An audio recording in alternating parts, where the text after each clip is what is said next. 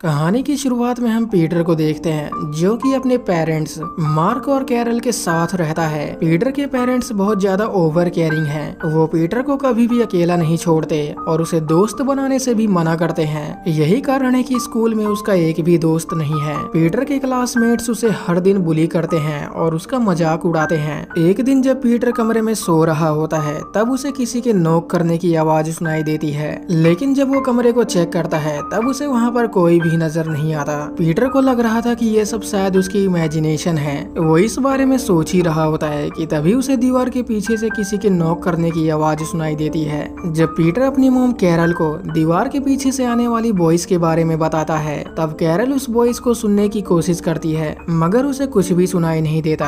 Carol उससे कहती है, ये घर बहुत पुराना है और यहाँ पर ऐसी वॉइसेस आती रहती हैं। ऐसा कहकर वो पीटर को सुला देती है और वहाँ से चली जाती है। अगले दिन पीटर के स्कूल में एक सब्सिट्यूट टीचर आती है, जिसका नाम था मिस डिवाइन डिवाइन पीटर से उसके दोस्तों के बारे में पूछती है। पीटर उसे बताता है कि उसका कोई भी दोस्त नहीं है। अब ये सुनकर डिवाइन को काफ़ी बुरा लगता है और वो उसके अकेलेपन को लेकर काफ़ी बुरा फील करती है। उसी रात जब पीटर अपनी फैमिली के साथ डिनर कर रहा होता है, तब वो उनसे हेलोवीन पर बाहर जाने की परमिशन माँगता है, लेकिन वो लोग उसे मना कर देते हैं। मार्क उसे बताता है कि आज से तकरीबन दो साल पहले एक लड़की ट्रिक और ट्रीट करने के लिए बाहर निकली थी, लेकिन तब से वो गायब है और आज तक कभी घर नहीं लौटी। हम नहीं चाहते कि तुम्हारे साथ भी कुछ ऐसा हो, इसलिए हम तुम्हें बाहर जाने की परमिशन नहीं दे सकते। रात के समय जब पीटर सोने के लिए कमरे में आता है, तब उसे एक क्रीपी वॉइस सुनाई देती है, जिससे वो काफ़ी डर जाता है। पीटर के चिल्लाने की आवाज़ सुनकर मार्क भी वहाँ पर आ जाता है।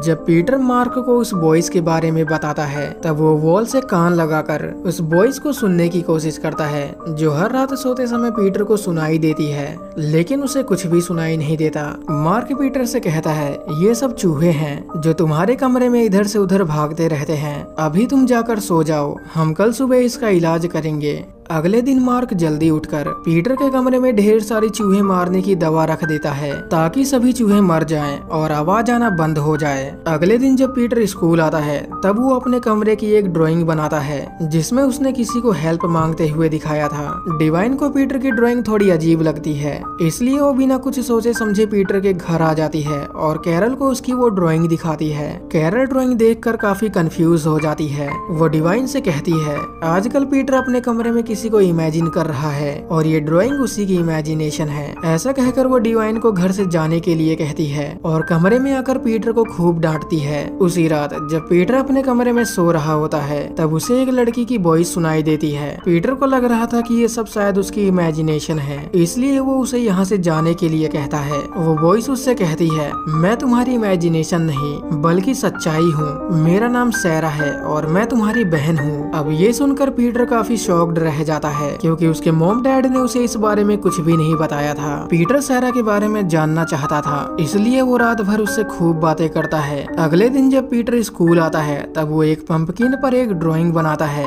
जो देखने में बहुत खूबसूरत थी। मिस डिवाइन को वो ड्राइंग काफ़ी पसंद आती है, और वो पीटर की खूब तारीफ़ करती है। लेकिन ब्रायन को ये सब पसंद नहीं आता, इसलिए वो स्कूल से निकलते समय पीटर को बुली करता है, और उसके कद्दू को भी फोड़ देता है। रात को जब पीटर सैरा से इस इंसिडेंट को लेकर डिस्कस करता है, तब सैरा उसे मोटिवेट करती है और उसे रिवेंज लेने के लिए कहती है। अगले दिन जब पीटर स्कूल आता है, तब ब्रायन उसे एक नया पंपकिन देता है और उससे सॉरी भी माँगता है। लेकिन पीटर के दिमाग में अभी भी सैरा की रिवेंज वाली बात घूम रही थी। इसलिए वो स्कूल से निकलते समय ब्रायन को सीढ़ियों से धक्का दे देता है, जिसके चलते उसकी दोनों टांगे टूट जाती हैं। जब मार्क और कैरल को इस बात का पता चलता है कि पीटर ने अपने क्लासमेट को मारा है, जिसके लिए उसे स्कूल से एक्सपेल कर दिया गया है। तब वो दोनों पीटर पर काफ़ी गुस्सा होते हैं और उसे एक बेसमेंट में बंद कर देते हैं, जिससे पीटर काफ़ी डर जाता है। पीटर को वहाँ पर एक केज मिलता है, जो शायद किसी को कैद करने के लिए बनाया गया था। अब हम डिवाइन को देखते हैं, जो पीटर के टेस्ट को चेक कर रही होती है।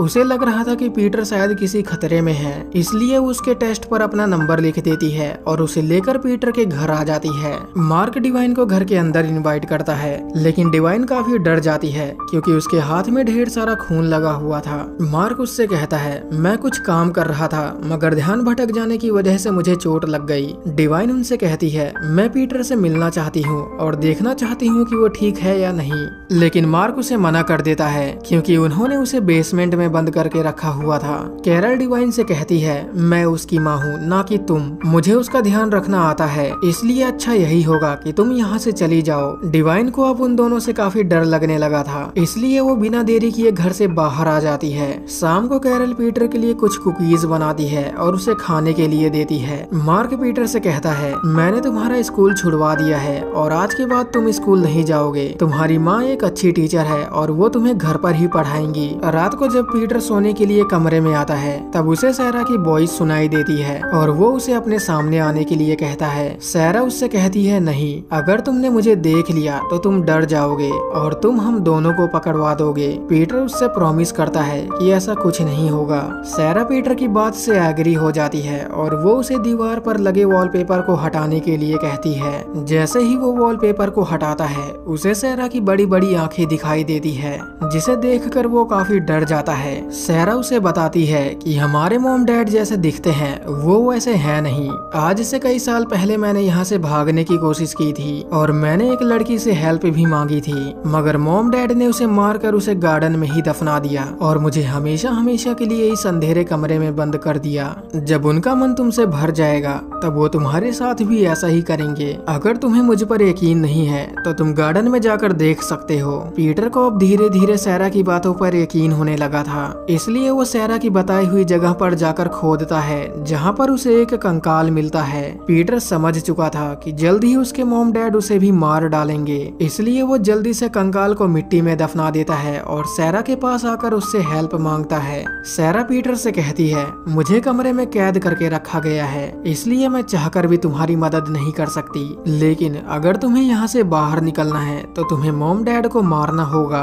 यही एक रास्ता है जिससे हम दोनों यहाँ से ज़िंदा बाहर निकल सकते हैं। पीटर सैरा से प्रॉमिस करता है कि चाहे कुछ भी हो जाए, वो उसे यहाँ से बाहर ज़रूर निकालेगा। क्योंकि पीटर अभी काफ़ी छोटा था और उसे इस काम के लिए किसी की ज़रूरत थी, इसलिए वो मिस डिवाइन के पास कॉल करता है, मगर इससे पहले कि वो कुछ बोल पाता कैरल उसे देख लेती है और फ़ोन कट कर देती है। वो पीटर की इस हरकत से काफ़ी गुस्सा होती है और उसे समझाने की कोशिश करती है, लेकिन तभी उसकी नज़र वॉल पर जाती है, जिसमें एक होल था। कैरल समझ चुकी थी कि पीटर हर दिन सैरा से बातें करता है, इसलिए वो उससे सैरा के बारे में पूछती है, लेकिन पीटर उसे कुछ नहीं बताता। वो पीटर से कहती है, अब काफ़ी देर हो चुकी है, अब आगे जो कुछ तुम्हारे साथ होगा, उसके जिम्मेदार तुम खुद होगे ऐसा कहकर वो वहाँ से चली जाती है। शाम को जब मार्क घर आता है, तब कैरल उसे सारी बात बता देती है। लेकिन पीटर चुपके से उन दोनों की सारी बातें सुन लेता है। अगले दिन जब पीटर उठता है, तब मार्क उसे लेकर गार्डन में आता है, जहाँ वो पीटर से सड़े हुए पंपकिंस को दफनाने की बात करता है। पीटर को लग रहा था कि उसके मोम डैड उसे मारकर उसे भी यहीं दफना देंगे। इसलिए वो उन्हें मारने का प्लान बनाता है और रात के खाने में जहर मिला देता है। मार्क जब खाने को टेस्ट करता है, तब वो समझ जाता है कि इसमें जहर मिलाया गया है। वो पीटर का गला पकड़ लेता है, लेकिन इससे पहले कि वो कुछ कर पाता, वो अचानक से नीचे गिर जाता है और उसकी डेथ हो जाती है। कैरल एंबुलेंस को कॉल करने की कोशिश करती है, मगर पीटर ने पहले से ही फ़ोन की केबल को काट दिया था, इसलिए वो एंबुलेंस को कॉल नहीं कर पाती। कैरल काफ़ी गुस्से में थी, इसलिए वो एक नाइफ लेकर पीटर को मारने की कोशिश करती है। लेकिन पीटर उसे सीढ़ियों से धक्का दे देता है, जिसके चलते वो नाइफ उसे ही लग जाता है और उसकी भी डेथ हो जाती है। कैरल के मरते ही पीटर उससे सारी कीज ले लेता है और सैरा को आज़ाद कर देता है। वो देखता है कि सैरा अब एक मॉन्स्टर बन चुकी है। यही नहीं, उसने उसका इस्तेमाल किया ताकि वो मोम डैड से अपना रिवेंज ले सके। इससे पहले कि वो उसे मार डाले, वो जल्दी से आकर अपने बेडरूम में छिप जाता है। अब हम ब्रायन को देखते हैं जो पीटर से बदला लेने के लिए अपने चचेरे भाइयों के साथ उसके घर में घुस जाता है। वो लोग उसके घर में तोड़ फोड़ करते हैं और पीटर को मारने के लिए उसे ढूँढने लगते हैं। लेकिन इससे पहले कि वो पीटर को नुकसान पहुंचाएँ, सैरा एक एक करके उन सबको मार डालती है। वो पीटर को पकड़कर बेसमेंट में लॉक कर देती है ताकि वो भी ऐसा ही फील करे जैसा कि इतने सालों तक उसने फील किया था। अब हम डिवाइन को देखते हैं जो पीटर की हेल्प करने के लिए उसके घर आ जाती है। घर में आने के बाद उसे चारों तरफ़ खून और ढेर सारी लाशें नज़र आती हैं। वो समझ चुकी थी कि पीटर बहुत बड़े खतरे में है, इसलिए वो उसे आवाज़ लगाती है और उसे चारों तरफ़ ढूँढने लगती है। जब पीटर को इस बात का पता चलता है कि डिवाइन उसे यहाँ पर बचाने के लिए आई है, तब वो उसे यहाँ से भागने के लिए कहता है, लेकिन डिवाइन उसकी जरा भी नहीं सुनती और वॉल तोड़कर उसे बाहर निकाल लेती है। इससे पहले कि डिवाइन पीटर को लेकर घर से बाहर निकल पाती,